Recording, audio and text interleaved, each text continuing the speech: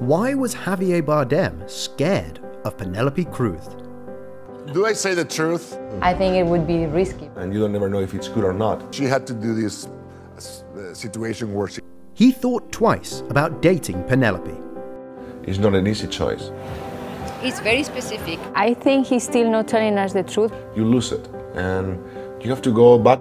How did they end up married after all that? Like I just wanted to run away from there and Feel like it's worth to do. The body doesn't lie. But I realized it's not better for my mental health, it's, it's not better for anything. I always had to lie. I had to wonder do I really want this? She has what I call the loving blood passion for everything.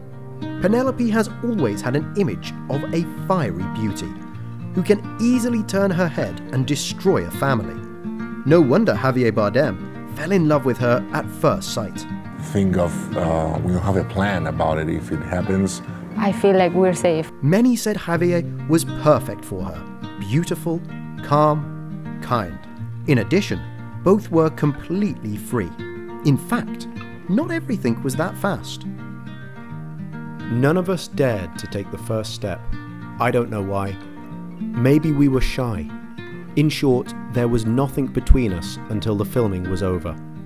Fortunately, it was at this time that our mutual friend had a party, and we had a little rest with Penelope. Well, the rest, as they say, is history.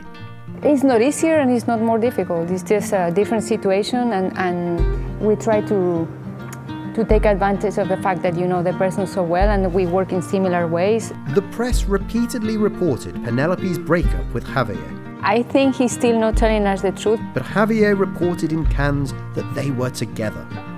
The Cannes audience met her with a standing ovation. Nobody knew that wedding preparations were in full swing, and the actress herself was already pregnant.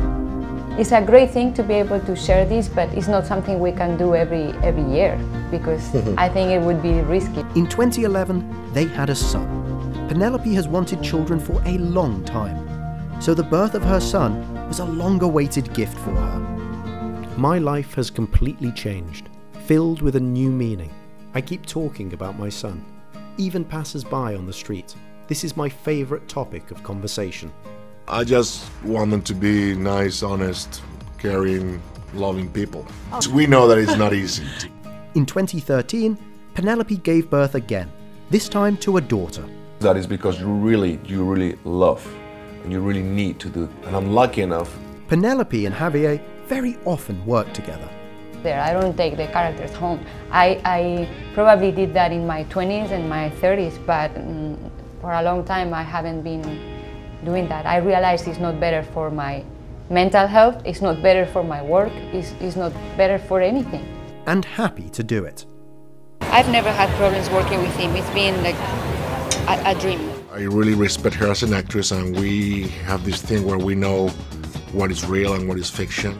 The way that we work, where we don't mix uh, fiction and reality, I don't think that makes your performance better or your life better or healthier. So, um, as long as you don't mix things, uh, take that energy home. It's actually, uh, I think it has more advantages than disadvantages. Today, they are completely happy with life. What is the secret of their perfect, long lasting bond? Do I say the truth? And we read a lot of books because that's the only way for us to remind us how good we are. I feel very similar to, to him in a way. Like there are, for me, it's, it's natural to be natural to be able to say what you think and what you feel. Do you like this family?